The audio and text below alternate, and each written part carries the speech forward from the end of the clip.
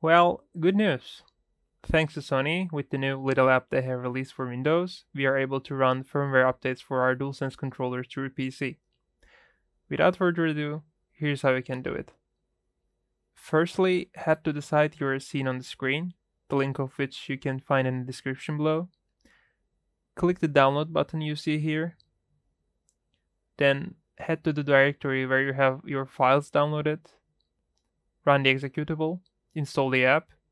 Here's the screen that will greet you after you launch the firmware updater.